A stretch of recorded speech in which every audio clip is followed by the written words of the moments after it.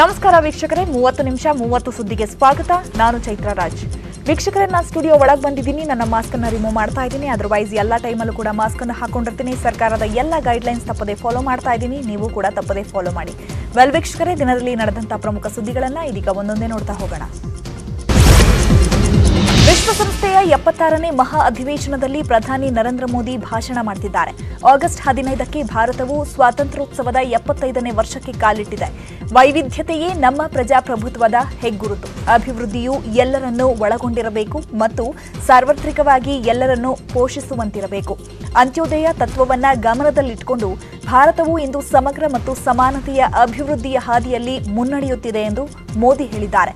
Corona ಮಹಾಮಾರಿಯಿಂದ ಜಗತ್ತು ತಲ್ಲಣಿಸಿದೆ ಭಾರತದಲ್ಲಿ ಲಸಿಕೆ ಉತ್ಪಾದಿಸಲು ವಿಶ್ವದಾದ್ಯಂತ ಇರುವ ಎಲ್ಲಾ ಲಸಿಕೆ ಉತ್ಪಾದಕರನ್ನ ನಾನು ಆಹ್ವಾನಿಸುತ್ತಿದ್ದೇನೆ ಅಂತ ಹೇಳಿದ್ರು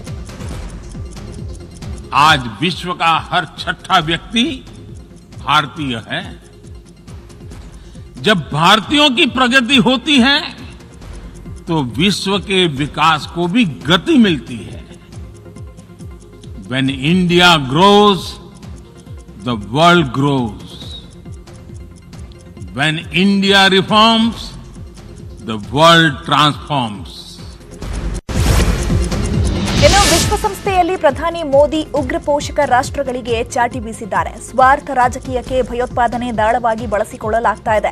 ಹೀಗೆ ಬಳಸಿಕೊಳ್ಳೋರಿಗೂ ಅದರ ಅಪಾಯದ ಅರಿವಿಲ್ಲ ಇನ್ನು ಅಫ್ಘಾನ್ ಮಹಿಳೆಯರು ಮಕ್ಕಳಿಗೆ ರಕ್ಷಣೆ ಬೇಕಿದೆ ಇಡೀ ವಿಶ್ವವೇ ನೊಂದವರ ಫಲ ಪರ ನಿಲ್ಲಬೇಕಾಗಿದೆ ಅಫ್ಘಾನ್ ಉಳಿವಿಗೆ ಎಲ್ಲ ರಾಷ್ಟ್ರಗಳು ಶ್ರಮಿಸಬೇಕು ಅಫ್ಘಾನ್ ಪರಿಸ್ಥಿತಿ ಸ್ವಾರ್ಥಕ್ಕೆ ಬಳಕೆ ಆಗಬಾರದು ಜಾಗತಿಕ ಕಾನೂನು ಮೌಲ್ಯಗಳ ರಕ್ಷಣೆ ಆಗಬೇಕಿದೆ ಅಂತ ಮೋದಿ ಹೇಳಿದ್ದಾರೆ आतंकवाद का पॉलिटिकल टूल के रूप में इस्तेमाल कर रहे हैं उन्हें ये समझना होगा कि आतंकवाद उनके लिए भी उतना ही बड़ा खतरा है कि वहां की नाजुक स्थितियों का कोई देश अपने स्वार्थ के लिए एक टूल की तरह इस्तेमाल करने की कोशिश न करें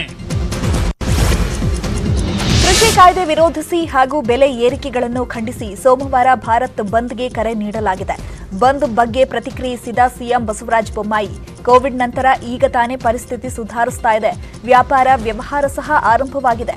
ಜನರ ಬದುಕು ಈಗ ತಾನೇ ಸುಧಾರಿಸಿಕೊಳ್ತಾ ಇದೆ. ಇಂತಹ ವೇಳೆಯಲ್ಲಿ ಬಂದ್ ಮಾಡುವುದು ಸೂಕ್ತವಲ್ಲ.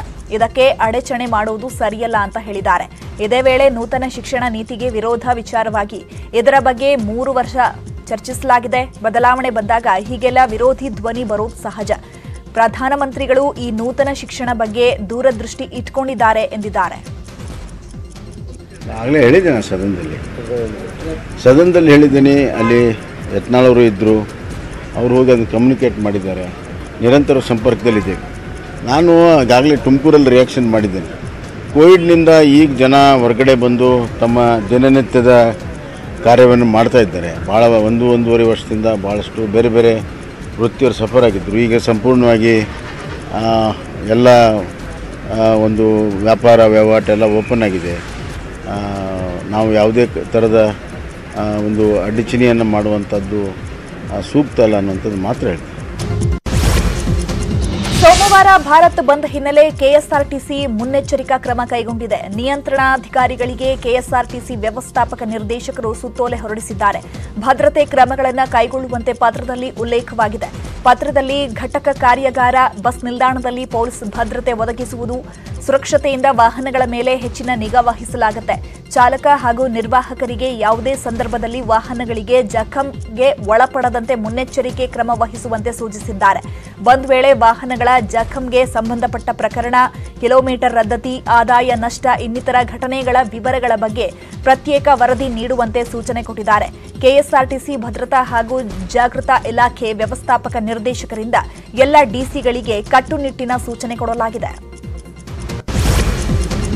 ಸೋಮವಾರ ಕರೆ ಕೊಟ್ಟಿರೋ ಭಾರತ್ ಬಂದ್ಗೆ ಬಿಜೆಪಿ ನಾಯಕರು ವಿರೋಧ ವ್ಯಕ್ತಪಡಿಸುತ್ತಿದ್ದಾರೆ ಈ ಬಗ್ಗೆ ಉಡುಪಿಯಲ್ಲಿ ಮಾತನಾಡಿದ ಸಚಿವ ಕೋಟಾ ಶ್ರೀನಿವಾಸ್ ಪೂಜಾರಿ, ದಲ್ಲಾಳಿಗಳಿಂದ ಮುಕ್ತ ಮಾಡುವುದೇ ಎಪಿಎಂಸಿ ಕೃಷಿ ಬಿಲ್ನ ಮುಖ್ಯ ಉದ್ದೇಶ. ರೈತರ ಬೆಂಬಲಕ್ಕಾಗಿಯೇ ಈ ಕಾಯ್ದೆ ಜಾರಿಗೆ ತರಲಾಗಿದೆ ಅಂದರು.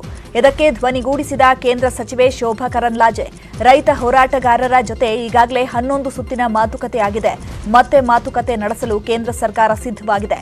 ಚರ್ಚೆ ಆಗದೆ ಲಾಭ ನಷ್ಟದ ಬಗ್ಗೆ ಗೊತ್ತಾಗಲ್ಲ ಅಂದ್ರು. ಕುಡಿದ ಕಿಕ್ನಲ್ಲೇ ವಾಹನಗಳನ್ನ ಚಲಾಯಿಸೋರಿಗೆ ಖಾಕಿ ಬಿಸಿ ತಟ್ಟಲಿದೆ. ಎಂದಿನಿಂದ ಅಧಿಕೃತವಾಗಿ ಡ್ರಿಂಕ್ ಅಂಡ್ ಡ್ರೈವ್ ಚೆಕಿಂಗ್ ಮಾಡಲಾಗುತ್ತೆ. ಕೊರೋನಾ ಕಾರಣಕ್ಕೆ ಡ್ರಂಕ್ ಅಂಡ್ ಡ್ರೈವ್ ತಪಾಸಣೆ ನಿಲ್ಲಿಸಲಾಗಿತ್ತು. ಈಗ ಮತ್ತೆ ಪೊಲೀಸರು ಆಲ್ಕೋಮೀಟರ್ ತಪಾಸಣೆ ನಡೆಸುತ್ತಿದ್ದಾರೆ ವಾರಾಂತ್ಯ ಶುಕ್ರವಾರ, ಶನಿವಾರ ಹಾಗೂ ಭಾನುವಾರ ರಾತ್ರಿ ತಪಾಸಣೆಗೆ ಒಳಪಡಿಸಲಾಗುತ್ತೆ. ಒಂದು ಠಾಣೆಗೆ ಹತ್ತು ಹಾಲ್ಕೋಮೀಟರ್ಗಳು ಕೊಡಲಾಗುತ್ತೆ. ಪೊಲೀಸರು ಫೇಸ್ ಮಾಸ್ಕ್, ಫೇಸ್ ಶೀಲ್ಡ್ ಹಾಗೂ ಹ್ಯಾಂಡ್ ಗ್ಲೌಸ್ ಕಡ್ಡಾಯವಾಗಿ ಹಾಕಬೇಕೆಂದು ಸಂಚಾರಿ ವಿಭಾಗದ ಪೊಲೀಸ್ ಕಮಿಷನರ್ ರವಿ ಕಾಂತೇಗೌಡ ತಿಳಿಸಿದ್ದಾರೆ. ಕುಡಿದು ವಾಹನ ಚಲಾಯಿಸಿ ಸಿಕ್ಕಿಬಿದ್ರೆ ಹತ್ತು ಸಾವಿರ ದಂಡವನ್ನ ಕೋರ್ಟ್ನಲ್ಲಿ ಕಟ್ಟಿ ವಾಹನವನ್ನ ಬಿಡಿಸಿಕೊಳ್ಬೇಕು. ತಪಾಸಣೆ ವೇಳೆ ಹಲ್ಲೆಗೆ ಮುಂದಾದರೆ ಕೇಸ್ ಜೊತೆಗೆ ರೌಡಿ ಶೀಟರ್ ಸಹ ತೆರೆಯಲಾಗುತ್ತೆ ಅಂದ್ರು. ಇನ್ನು ಟೋಯಿಂಗ್ ಮಾಡುವಾಗ ಸಂಚಾರ ಪೊಲೀಸ್ ಇಲಾಖೆಗೆ ಲೈವ್ ಸ್ಟ್ರೀಮಿಂಗ್ ನೀಡಬೇಕು. ಓರ್ವ ಎಎಸ್ಐ ಸಮವಸ್ತ್ರದಲ್ಲಿ ಟೋಯಿಂಗ್ ವಾಹನದಲ್ಲಿರಬೇಕೆಂದು ಸೂಚನೆಯನ್ನು ಕೊಟ್ಟಿದ್ದಾರೆ. ಭಾನುವಾರ ಮೂರು ದಿವಸ ವಾಹನ ತಪಾಸಣೆಯನ್ನು ಮಾಡಿ ಯಾರು ಕುಡಿದಿದ್ದಾರೋ ಅವರನ್ನು ವೈದ್ಯಕೀಯ ತಪಾಸಣೆಗೆ ಒಳಪಡಿಸಿದ್ವಿ. ಆಲ್ಕೋಮೀಟರ್ ಪರಿಶೀಲನೆಗೆ ಒಳಪಡಿಸಲಿಲ್ಲ ಅವ್ರನ್ನ. ಅವ್ರನ್ನ ಆಸ್ಪತ್ರೆಗಳಿಗೆ ಕರ್ಕೊಂಡು ಹೋಗಿ ಬ್ಲಡ್ ಡ್ರಾ ಮಾಡ್ತಕ್ಕಂಥದ್ದು ಅಥವಾ ವೈದ್ಯಕೀಯ ತಪಾಸಣೆ ಅವರ ಸಂಬಂಧಪಟ್ಟ ವೈದ್ಯರ ಅಭಿಪ್ರಾಯ ಪಡೆಯುವುದರ ಮೂಲಕ ಅವರ ಚಾರ್ಜ್ ಶೀಟನ್ನು ಮಾಡಿದ್ವಿ. ಕಳೆದ ವಾರ ಒಂದರಲ್ಲೇ ಸುಮಾರು ಇನ್ನೂರು ಪ್ರಕರಣಗಳನ್ನು ದಾಖಲು ಬೆಂಗಳೂರಿಗೆ ಸೀಮಿತ ಆಗಿರುವ ಹೊಸ ಬಸ್ಗಳನ್ನು ಉತ್ತರ ಕರ್ನಾಟಕಕ್ಕೆ ಕೊಡಲಾಗುವುದು ಎಂದು ಚಿಕ್ಕೋಡಿಯಲ್ಲಿ ಸಾರಿಗೆ ಸಚಿವ ಬಿ ಶ್ರೀರಾಮುಲು ಹೇಳಿದ್ದಾರೆ. ಹಾಗೆ ಮುಷ್ಕರ ನಡೆಸುತ್ತಿರುವ ಸಿಬ್ಬಂದಿಗೆ ಶ್ರೀರಾಮುಲು ಯಾರಿಗೂ ತೊಂದರೆ ಆಗಬಾರದು. ಸರ್ಕಾರ ಇಕ್ಕಟ್ಟಿಗೆ ಸಿಲುಕಬಾರದೆಂದು ಮನವಿ ಮಾಡಿದ್ದಾರೆ. ಈಗಾಗಲೇ ಸಸ್ಪೆಂಡ್ ಆಗಿದ್ದ ಸಾರಿಗೆ ಇಲಾಖೆ ಸಿಬ್ಬಂದಿಯನ್ನ ಹಂತ ಹಂತವಾಗಿ ತೆಗೆದುಕೊಳ್ಳಲಾಗ್ತಾ ಇದೆ. ಸಾರಿಗೆ ಸಿಬ್ಬಂದಿ ಬೇಡಿಕೆಗೆ ಸ್ಪಂದಿಸುವ ಕೆಲಸ ಮಾಡಲಾಗುತ್ತೆ ಎಂದು ಭರವಸೆಯನ್ನ ಕೊಟ್ಟಿದ್ದಾರೆ.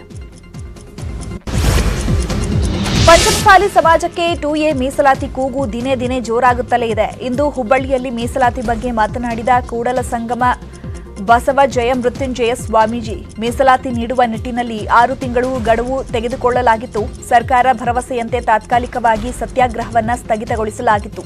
ಗಡುವು ಮುಕ್ತಾಯವಾದ ಹಿನ್ನೆಲೆ ಇದೀಗ ಮತ್ತೆ ಸರ್ಕಾರವನ್ನ ಎಚ್ಚರಿಸಲು ಮುಂದಾಗಿದ್ದೇವೆ ಅಂತ ಹೇಳಿದ್ದಾರೆ. ಇನ್ನು ಮೀಸಲಾತಿ ಕೂಗಿನ ಬಗ್ಗೆ ಪ್ರತಿಕ್ರಿಯಿಸಿದ ಸಚಿವ ಸಿಸಿ ಪಾಟೀಲ್, ನಾನೇ ಮುಖ್ಯಮಂತ್ರಿಯಾಗಿದ್ರು ಹದಿನೈದು ದಿನದಲ್ಲಿ ಟೂ ಎ ಮೀಸಲಾತಿ ತರಲು ಸಾಧ್ಯವಿಲ್ಲ ಎಂದಿದ್ದಾರೆ. ಪಂಚಮಸಾಲಿ ಮೀಸಲಾತಿ ವಿಚಾರವಾಗಿ ಯಡಿಯೂರಪ್ಪಗೆ ಮನಸ್ಸಿರಲಿಲ್ಲ ಅನ್ನೋದು ಒಪ್ಪಲ್ಲ ಎಂದು ಶಾಸಕ ಬಸನಗೌಡ ಪಾಟೀಲ್ ಯತ್ನಾಳ್ ಆರೋಪಕ್ಕೆ ಸಚಿವ ಸಿಸಿ ಪಾಟೀಲ್ ತಿರುಗೇಟು ಕೊಟ್ಟಿದ್ದಾರೆ. ಬಸವ, ಶ್ರೀ ಜಯ, ಮೃತ್ಯುಂಜಯ ಸ್ವಾಮೀಜಿಗಳು ಎಲ್ಲಾ ಜಿಲ್ಲೆಯಲ್ಲಿ ಪ್ರತಿಜ್ಞೆ ಪಂಚಾಯತ್ ಮಾಡ್ತಿದ್ದಾರೆ. ಜಿಲ್ಲೆಯಲ್ಲಿ ಅವರ ಕಾರ್ಯಕ್ರಮ ಪೂರ್ವ ನಿಯೋಜಿತ ಮುಖ್ಯಮಂತ್ರಿಗಳ ಕಾರ್ಯಕ್ರಮಕ್ಕೆ ತಾಳೆ ಇಲ್ಲ ಎಂದಿದ್ದಾರೆ. ಯಡಿಯೂರಪ್ಪನವ್ರಿಗೆ ಮನಸ್ಸಿರ್ಲಿಕ್ಕಾದ್ರೆ ಹಿಂದುಳಿದ ವರ್ಗಕ್ಕೆ ನೇಮಿಸ್ತಿದ್ರೆ ಯಾಕೆ? ಟು ಬಿ ಕೊಟ್ಟು ಪಂಚಮಸಾಲಿ ಸಮಾಜಕ್ಕೆ ಟು ಬಿ ಕೊಟ್ಟಂತವ್ರೆ ಯಡಿಯೂರಪ್ಪನವರು. ಒಂದು ನಿಮಿಷ. ಅವು ಅದಕ್ಕೆ ಯಡಿಯೂರಪ್ಪನವ್ರಿಗೆ ಮನಸ್ಸಿಲ್ಲ ಅಂತ ಹೇಳಿದ್ದನ್ನು ನಾನು ಒಪ್ಪೋದಿಲ್ಲ ಅವರು ಪ್ರಯತ್ನ ಮಾಡ್ಯಾರ. ನಾನು ಹೇಳಿದ್ನಲ್ಲ, ನಾನೇ ಮುಖ್ಯಮಂತ್ರಿ ಆದರೂ ಅದನ್ನೇನು ಒಂದು ದಿವಸದೊಳಗೆ, ಹದಿನೈದು ದಿವಸದೊಳಗೆ ಮುಗಿಸ್ತೇನೆ ಅನ್ನುವಂಥ ವಿಷಯ ಅಲ್ಲ. ಒಕ್ಕೂಟ ವ್ಯವಸ್ಥೆ ಇದೆ. ನಮ್ಮ ಸಮಾಜಕ್ಕೆ ನ್ಯಾಯ ಸಿಗಬೇಕು ಅನ್ನೋದು ನಂದು ಬೇಡಿಕೆ. ಅದರ ಜೊತೆಗೆ ಅನ್ಯ ಸಮಾಜದವರಿಗೆ ತೊಂದರೆ ಆಗಬಾರ್ದು, ನಮ್ಮಿಂದ ಅನ್ಯಾಯ ಆಗಬಾರ್ದು. ಮತ್ತು ಅದಕ್ಕೆ ಮಾನ್ಯ ಮುಖ್ಯಮಂತ್ರಿಗಳು ಪ್ರಾಮಾಣಿಕತೆಯಿಂದ ಸಂವಿಧಾನದ ಚೌಕಟ್ಟಿನಲ್ಲಿ ಏನು ಮಾಡ್ಲಿಕ್ಕೆ ಸಾಧ್ಯ ಇದೆಯೋ ಅದನ್ನು ಮಾಡಲಿಕ್ಕೆ ಪ್ರಯತ್ನವನ್ನು ಮಾಡ್ತಾರೆ. ಸಾರ್ವಜನಿಕ ಗಣೇಶೋತ್ಸವವನ್ನ ಅದ್ದೂರಿಯಾಗಿ ಆಚರಿಸದಂತೆ ಸರ್ಕಾರ ಕಟ್ಟುನಿಟ್ಟಿನ ಸೂಚನೆ ನೀಡಿತ್ತು. ಕೊರೋನಾ ನಿಯಮಗಳ ಅಡಿಯೇ ಗಣೇಶ ಮೂರ್ತಿ ವಿಸರ್ಜನೆ ಮಾಡಬೇಕು ಅಂತಾನು ಆದೇಶ ಹೊರಡಿಸಿತ್ತು. ಆದರೆ ದಾವಣಗೆರೆಯಲ್ಲಿ ಸರ್ಕಾರದ ಆದೇಶಕ್ಕೆ ಡೋಂಟ್ ಕೇರ್ ಎಂದಿದ್ದಾರೆ. ಹದಿನೈದು ದಿನಗಳ ಕಾಲ ಕೂರಿಸಿದ್ದ ಹಿಂದೂ ಮಹಾಗಣಪತಿ ವಿಸರ್ಜನೆ ಮಾಡಲಾಗ್ತಿದ್ದು ಸಾವಿರಾರು ಜನ ಸೇರಿದ್ದಾರೆ. ಈ ವೇಳೆ ಕೊರೋನಾ ನಿಯಮ ಅನ್ನೋದು ಲೆಕ್ಕಕ್ಕೆ ಇಲ್ಲದಂತಾಗಿದೆ. ಸಾಮಾಜಿಕ ಅಂತರವಿಲ್ಲ, ಯಾರೊಬ್ಬರು ಮಾಸ್ಕ್ ಹಾಕಿಲ್ಲ, ಕೊರೋನಾ ಇದೆ ಅನ್ನೋದನ್ನು ಮರೆತು ಹಬ್ಬದ ಸಂಭ್ರಮದಲ್ಲಿ ಮಿಂದೇಳ್ತಿದ್ದಾರೆ.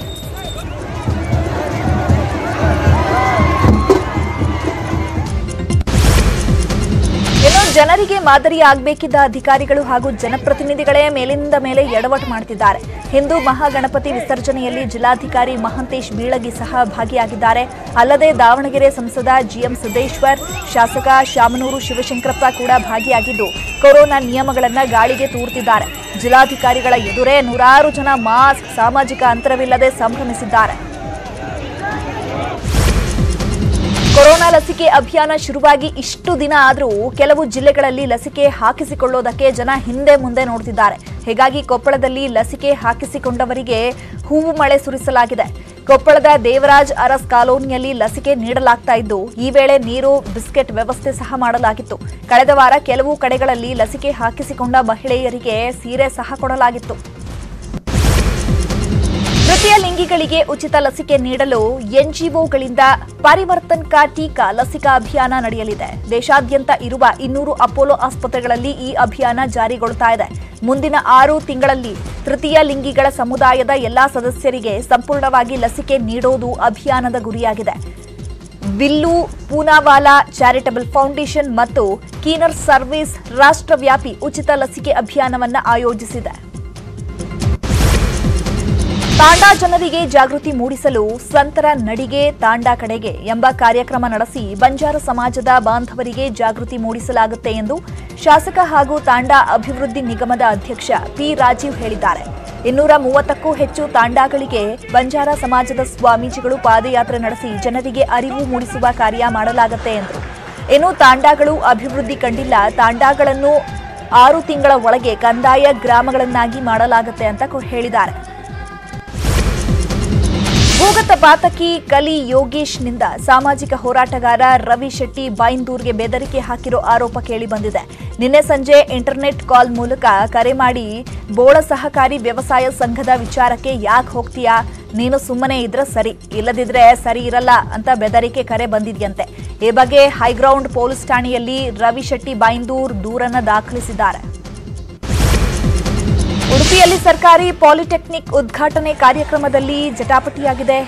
ಈ ಹಿನ್ನೆಲೆ ಕಾಂಗ್ರೆಸ್ ಸರ್ಕಾರ ಇದ್ದ ಸಂದರ್ಭದಲ್ಲಿ ಮಂಜೂರಾಗಿದ್ದ ಸರ್ಕಾರಿ ಪಾಲಿಟೆಕ್ನಿಕ್, ಇದೀಗ ಬಿಜೆಪಿ ನಾಯಕರ ಉಸ್ತುವಾರಿಯಲ್ಲಿ ಉದ್ಘಾಟನೆ ನಡೀತಾ ಇದೆ. ಸಚಿವ ಅಶ್ವಥ್ ನಾರಾಯಣ್ ಪಾಲಿಟೆಕ್ನಿಕ್ ಉದ್ಘಾಟನೆ ಮಾಡಿದ್ದಾರೆ. ಮಾಜಿ ಸಚಿವ ವಿನಯ್ ಕುಮಾರ್ ಸೋರಕಿಗೆ ಆಹ್ವಾನ ನೀಡದ್ದಕ್ಕೆ ಉದ್ಘಾಟನೆ ನಡೆಯುವ ಸ್ಥಳದಲ್ಲಿ ಕಾಂಗ್ರೆಸ್ ಕಾರ್ಯಕರ್ತರು ಪ್ರತಿಭಟನೆ ನಡೆಸಿದ್ದಾರೆ. ಪ್ರತಿಭಟನೆ ನಡೆಸಿದ್ರೂ ಸೊರಕೆ ಅವರನ್ನ ಬಿಜೆಪಿಗರು ಒಳಗೆ ಬಿಟ್ಟಿಲ್ಲ. ರಾಜ್ಯದಲ್ಲಿ ಕೆಲವು ಕ್ರೈಸ್ತ ಮಿಷನರಿಗಳು ಹಣ ಹಾಗೂ ವಿವಿಧ ಆಮಿಷಗಳನ್ನು ಒಡ್ಡಿ ಮತಾಂತರ ಮಾಡ್ತಿವೆ ಅಂತ ಯಾದಗಿರಿಯಲ್ಲಿ ಶಾಸಕ ಪಿ ರಾಜೀವ್ ಆರೋಪವನ್ನು ಮಾಡಿದ್ದಾರೆ. ಹಿಂದುಳಿದ ಜಿಲ್ಲೆಯ ಜನರನ್ನ ಟಾರ್ಗೆಟ್ ಮಾಡಿ ದಲಿತ ಸಮುದಾಯದವರನ್ನು ಮತಾಂತರ ಮಾಡಲಾಗ್ತಾ ಇದೆ. ಜನರಿಗೆ ಇನ್ನಿಲ್ಲದ ಆಸೆಗಳನ್ನು ಹುಟ್ಟಿಸಿ ಮತಾಂತರಕ್ಕೆ ಪ್ರಚೋದನೆ ಮಾಡ್ತಿದ್ದಾರೆ. ಆದರೆ ಬಲವಂತದ ಮತಾಂತರ ಕಾನೂನು ಬಾಹಿರ ಅಂತ ಕಿಡಿಕಾರಿದ್ದಾರೆ. ಪ್ರೇರಣೆ ಮಾಡಿ ಅಥವಾ ಆಸೆಯನ್ನು ಹುಟ್ಟಿಸಿ ಅಥವಾ ಯಾವುದೇ ರೀತಿಯ ಜಾದು ಅಂತ ಇದನ್ನ ತಂತ್ರಗಾರಿಕೆಯನ್ನ ಮಾಡಿ ಮತಾಂತರ ಮಾಡುವಂಥದ್ದು ಕಾನೂನಿನ ಪ್ರಕಾರ ಅಪರಾಧ. ಹಾಗಾಗಿ ಯಾವುದೇ ರೀತಿಯ ಆಸೆ, ಆಮಿಷಗಳನ್ನು ಹುಟ್ಟಿಸಿ ಮತಾಂತರವನ್ನ ಏನು ಪ್ರಚೋದನೆ ಮಾಡ್ತಾ ಇದ್ದಾರೆ, ಅದನ್ನು ನಾವು ತಡೆಗಟ್ತೇವೆ. ನಮ್ಮ ಬಂಜಾರ ಸಂಸ್ಕೃತಿ ಪರಂಪರೆಯನ್ನ ನಾವು ಇನ್ನು ಮತಾಂತರದ ಬಗ್ಗೆ ಪ್ರತಿಕ್ರಿಯಿಸಿದ ಹಿಂದೂ ಸಂಘಟನೆ ಮುಖಂಡ ಪ್ರಮೋದ್ ಮುತಾಲಿಕ್ ಬ್ರಿಟಿಷರ ಕಾಲದಿಂದಲೂ ಕ್ರಿಶ್ಚಿಯನ್ ಮತಾಂತರ ನಡೀತಾ ಇದೆ. ಲಿಂಗಾಯತ ಒಕ್ಕಲಿಗ ಬ್ರಾಹ್ಮಣರ ಸಹ ಮತಾಂತರಗೊಂಡಿದ್ದು, ಮತಾಂತರ ಇದೀಗ ದೇಶಾದ್ಯಂತ ಆಗ್ತಾ ಇದೆ. ರಾಜ್ಯ ಸರ್ಕಾರ ಮತಾಂತರ ತಡೆಯಲು ಕಾನೂನು ಜಾರಿ ಮಾಡಬೇಕು ಅಂತ ಹೇಳಿದ್ದಾರೆ. ಬೆಳಗಾವಿ ಜಿಲ್ಲೆಯ ಸಂಕೇಶ್ವರ ಪಟ್ಟಣದಲ್ಲಿ ನೂತನ ಹೈಟೆಕ್ ಬಸ್ ನಿಲ್ದಾಣವನ್ನು ಸಿಎಂ ಬಸವರಾಜ ಬೊಮ್ಮಾಯಿ ಉದ್ಘಾಟಿಸಿದ್ದಾರೆ. ಉದ್ಘಾಟನೆ ಸಮಾರಂಭಕ್ಕೂ ಮುನ್ನ ಅಲ್ಲಿನ ರೈತರು ಕಬ್ಬಿನ ಬಾಕಿ ಹಣಕ್ಕಾಗಿ ಪ್ರತಿಭಟನೆ ನಡೆಸ್ತಾ ಇದ್ರು. ಮೊಬೈಲ್ ಕರೆ ಮೂಲಕವೇ ರೈತರೊಂದಿಗೆ ಮಾತನಾಡಿದ ಸಿಎಂ ಬೊಮ್ಮಾಯಿ, ಕಾರ್ಖಾನೆಗಳ ಕಬ್ಬಿನ ಬಾಕಿ ಬಿಲ್ ಶೀಘ್ರವೇ ಕೊಡಿಸುವ ಭರವಸೆಯನ್ನು ಕೊಟ್ಟಿದ್ದಾರೆ. ನಾಳೆ ಬೆಳಗ್ಗೆ ರೈತ ಮುಖಂಡರಿಗೆ ಭೇಟಿಗೆ ಸಿಎಂ ಬೊಮ್ಮಾಯಿ ಅವಕಾಶವನ್ನು ನೀಡಿದ್ದಾರೆ.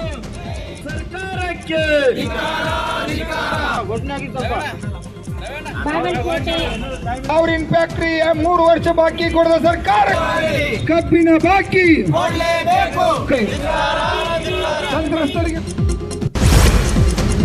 ಚಿಕ್ಕಮಗಳೂರು ಜಿಲ್ಲೆ ಮೂಡಿಗೆರೆ ತಾಲೂಕಿನ ಭೂತನಕಾಡಿನ ಕಾಫಿ ಎಸ್ಟೇಟಿಗೆ ಕಾಡು ಕೋಣಗಳ ಹಿಂಡು ನುಗ್ಗಿವೆ ಸಿದ್ಧಗಂಗಾ ಕಾಫಿ ಎಸ್ಟೇಟ್ನಲ್ಲಿ ಸುಮಾರು ಐವತ್ತಕ್ಕೂ ಹೆಚ್ಚು ಕಾಡು ಕೋಣಗಳು ಪ್ರತ್ಯಕ್ಷವಾಗಿದೆ. ಕಾಡು ಕೋಣಗಳ ಎಂಟ್ರಿಯಿಂದ ಕಾರ್ಮಿಕರು ಆತಂಕಗೊಂಡಿದ್ದಾರೆ. ಅಯ್ಯೋ ದೇವ್ರ ಎಂತಪ್ಪ ಇದು ಈ ತರ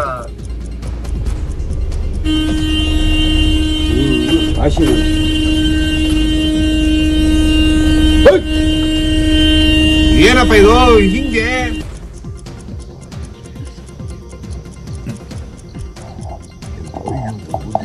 ಎಂತ ಸೈಜ್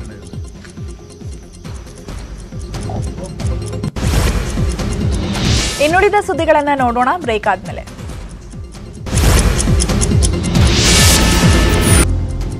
ವೆಲ್ಕಮ್ ಬ್ಯಾಕ್ ಉಳಿದ ಸುದ್ದಿಗಳನ್ನ ನೋಡೋಣ.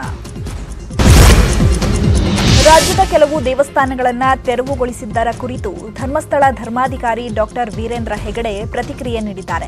ಇರುವ ಧಾರ್ಮಿಕ ಕೇಂದ್ರಗಳನ್ನು ಸಕ್ರಮ ಮಾಡಿ ದೇವಸ್ಥಾನದ ಆಡಳಿತ ಮಂಡಳಿಯವರು ಕಾನೂನುಬದ್ಧವಾಗಿ ದೇವಸ್ಥಾನ ರಚನೆ ಮಾಡಬೇಕು. ಸರ್ಕಾರ ದೇವಸ್ಥಾನಗಳನ್ನು ಸಕ್ರಮ ಮಾಡಿದರೆ ಭಕ್ತರ ನಂಬಿಕೆಗಳಿಗೆ ಧಕ್ಕೆ ಆಗಲ್ಲ ಅಂತ ಹೇಳಿದ್ದಾರೆ. ಕಮ್ಯುನಿಸ್ಟ್ ಪಕ್ಷದ ನಾಯಕ ಕನ್ನಯ್ಯ ಕುಮಾರ್ ಮತ್ತು ರಾಷ್ಟ್ರೀಯ ದಲಿತ ಅಧಿಕಾರ್ ಮಂಚ್ ಶಾಸಕ ಜಿಗ್ನೇಶ್ ಮೇವಾನಿ ಸೆಪ್ಟೆಂಬರ್ ಇಪ್ಪತ್ತೆಂಟರಂದು ಕಾಂಗ್ರೆಸ್ ಸೇರುವ ಸಾಧ್ಯತೆ ಇದೆ. ಈ ಮೊದಲು ಇಬ್ಬರು ನಾಯಕರು ಅಕ್ಟೋಬರ್ ಎರಡರ ಗಾಂಧಿ ಜಯಂತಿಯಂದು ರಾಹುಲ್ ಗಾಂಧಿ ಸಮ್ಮುಖದಲ್ಲೇ ಕಾಂಗ್ರೆಸ್ ಸೇರ್ಪಡೆಯಾಗಲು ತೀರ್ಮಾನಿಸಿದ್ರು. ಆದರೆ ಸೆಪ್ಟೆಂಬರ್ ಇಪ್ಪತ್ತೆಂಟರ ಭಗತ್ ಸಿಂಗ್ ಅವರ ಜನ್ಮ ದಿನಾಚರಣೆಯಂದೇ ಕಾಂಗ್ರೆಸ್ ಸೇರ್ಪಡೆಯಾಗಲು ಈ ಇಬ್ಬರು ಮುಂದಾಗಿದ್ದಾರೆ ಎನ್ನಲಾಗಿದೆ. ತಮಿಳುನಾಡಿನಲ್ಲಿ ಕಾಂಗ್ರೆಸ್ನ ಎರಡು ಬಣಗಳ ನಡುವೆ ಮಾರಾಮಾರಿ ನಡೆದಿದೆ. ಕಾಂಗ್ರೆಸ್ ನಾಯಕರು ಕುರ್ಚಿಗಳನ್ನ ಎಸೆದು ಪರಸ್ಪರ ಕಿತ್ತಾಡಿಕೊಂಡಿದ್ದಾರೆ. ಸಂಸದ ಕಾರ್ತಿ ಚಿದಂಬರಂ, ಶಿವಗಂಗಾ ಜಿಲ್ಲಾ ಕಾಂಗ್ರೆಸ್ ಘಟಕ ಸದಸ್ಯರು ಮುಂಬರುವ ಸ್ಥಳೀಯ ಸಂಸ್ಥೆಗಳ ಚುನಾವಣೆ ಕುರಿತು ಚರ್ಚಿಸಲು ಸಭೆ ಸೇರಿದ್ರು.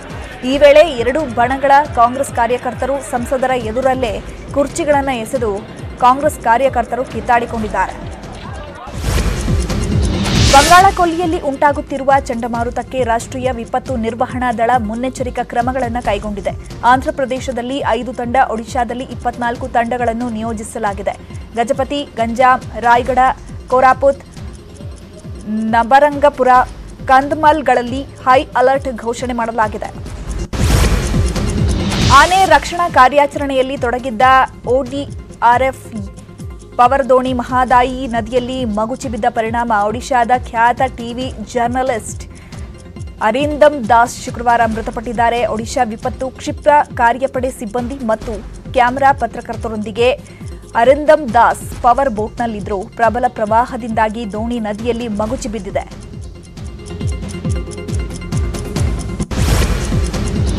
ಇನ್ನುಳಿದ ಸುದ್ದಿಗಳನ್ನು ನೋಡೋಣ. ಬ್ರೇಕ್ ಆದ್ಮೇಲೆ. ವೆಲ್ಕಮ್ ಬ್ಯಾಕ್ ಉಳಿದ ಸುದ್ದಿಗಳನ್ನು ನೋಡೋಣ.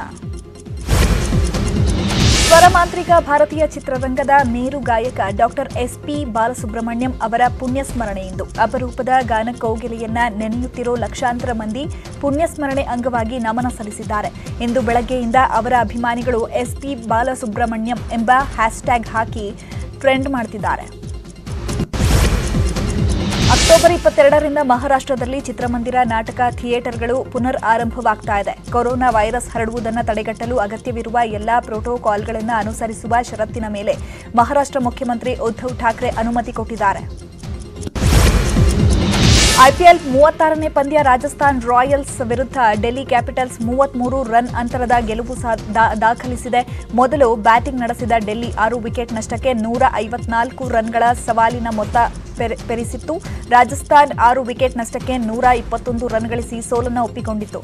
ಇನ್ನು ಶಾರದಾದಲ್ಲಿ ಸನ್ರೈಸರ್ಸ್ ಹೈದರಾಬಾದ್ ಹಾಗೂ ಪಂಜಾಬ್ ಕಿಂಗ್ಸ್ ನಡುವೆ ಪಂದ್ಯದಲ್ಲಿ ನಡೀತಾ ಇದೆ. ಟಾಸ್ ಗೆದ್ದ ಹೈದರಾಬಾದ್ ಫೀಲ್ಡಿಂಗ್ ಆಯ್ದುಕೊಂಡಿದೆ. ಪಂಜಾಬ್ ಹನ್ನೊಂದು ಓವರ್ಗಳಲ್ಲಿ ಮೂರು ವಿಕೆಟ್ ನಷ್ಟಕ್ಕೆ ಐವತ್ತೊಂಬತ್ತು ರನ್ ಗಳಿಸಿ ಬ್ಯಾಟಿಂಗ್ ಮಾಡ್ತಾ ಇದೆ. ಕೇಂದ್ರ ಕ್ರೀಡಾ ಸಚಿವ ಅನುರಾಗ್ ಠಾಕೂರ್ ಅವರು ಫಿಟ್ ಇಂಡಿಯಾ ಸವಾಲನ್ನು ಸ್ವೀಕರಿಸಿದ್ರು. ಲಡಾಖ್ ಸಂಸದ ಜಮ್ಯಾಂಗ್ ಅವರೊಂದಿಗೆ ಹನ್ನೊಂದು ಸಾವಿರ ಎತ್ತರದ ಅಡಿಗಳಷ್ಟು ದೂರಕ್ಕೆ ಸೈಕ್ಲಿಂಗ್ ಮಾಡಿದ್ರು ಹಿಮಾಲಯನ್ ಚಲನಚಿತ್ರೋತ್ಸವವನ್ನು ಉದ್ಘಾಟಿಸಿದ್ರು कि भारत के युवाओं को और भारत की जनता में ಇವಿಷ್ಟು ಈ ಹೊತ್ತಿನ ಮೂವತ್ತು ನಿಮಿಷ ಮೂವತ್ತು ಸುದ್ದಿ. ವೀಕ್ಷಕರೇ ನಾನು ಸ್ಟುಡಿಯೋ ಇಂದ ಹೊರಗೆ ಹೋಗ್ತಾ ಇದ್ದೀನಿ. ಸೊ ನನ್ನ ಮಾಸ್ಕನ್ನು ಹಾಕೊಳ್ತಾ ಇದ್ದೀನಿ. ಆಗಾಗ ನನ್ನ ಕೈಗಳನ್ನು ಸ್ಯಾನಿಟೈಸ್ ಮಾಡ್ಕೋತೀನಿ. ಸೋಷಿಯಲ್ ಡಿಸ್ಟೆನ್ಸಿಂಗ್ ಮೇಂಟೈನ್ ಮಾಡ್ತೀನಿ. ಸರ್ಕಾರದ ಎಲ್ಲ ಗೈಡ್ಲೈನ್ಸ್ ನಾನು ಫಾಲೋ ಮಾಡ್ತಾ ಇದ್ದೀನಿ. ನೀವು ಕೂಡ ಫಾಲೋ ಮಾಡಿ. ನೋಡ್ತಾ ಇರಿ ನ್ಯೂಸ್ ಏಟಿನ್ ಕನ್ನಡ. ಜಾಲ ನಮ್ಮದು ಬಲ ನಿಮ್ಮದು. ಈ ವಾರ್ತೆಯ ಮುಖ್ಯಾಂಶಗಳ ಪ್ರಾಯೋಜಕರು.